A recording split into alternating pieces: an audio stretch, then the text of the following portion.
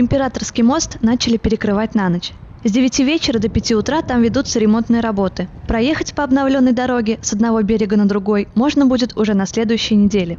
Вчера в ночь также приступили к фрезерованию Императорского моста асфальтобетонного покрытия. Вчера за ночь прошли 450 метров, первый день работы. То есть планируем еще за 2-3 дня завершить фрезерование моста и после этого приступить уже к асфальтированию. Назвать этот ремонт капитальным нельзя. Специалисты говорят, что изношены сами плиты, на которые кладется асфальт. В идеале нужно менять эти плиты, но пока нет такой возможности. Износ не критичен, но чтобы предотвратить дальнейшее разрушение основания дороги, нужно поменять верхний слой. Новое покрытие станет своеобразной подушкой, который уменьшит нагрузку на плиты.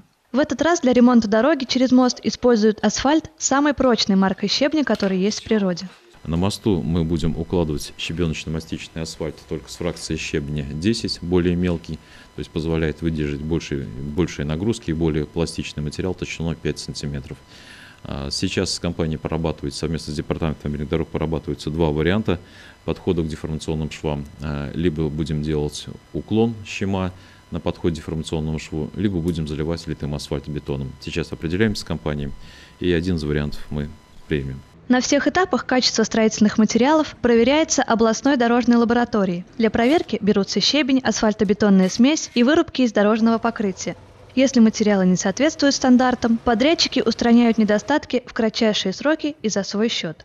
Повышенные требования к качеству предъявляются всем организациям, которые ремонтируют дороги в Ульяновской области. По информации регионального департамента автомобильных дорог, в этом году на 15% уменьшилось откровенно бракованных покрытий. Нормативное состояние приведено 250 километров региональных трасс. На это потрачены немалые деньги. Для обеспечения дорожной деятельности э, на автомобильных дорогах Ульяновской области – Э, в этом году направлено 6 миллиардов 600 э, и с учетом кредитных средств более 7 миллиардов. Из них, значит, 3,5 миллиарда направлено на федеральные дороги, сеть составляет 432 километра. На областные дороги миллиард 800, сеть составляет 4600 километров. И на местные дороги миллиард 200, сеть составляет 7200 километров.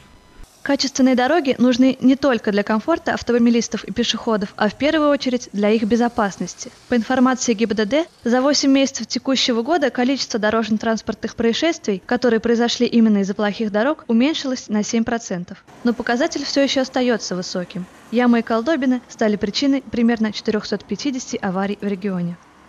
Екатерина Нефельд, Юрий Конихин. Новости Ульяновской правды.